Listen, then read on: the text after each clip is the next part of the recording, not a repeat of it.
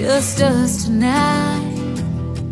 Don't need a book, just snuggle in I'll tell you a story Wish I didn't have to say About a girl who fought with all her heart But still had to walk away.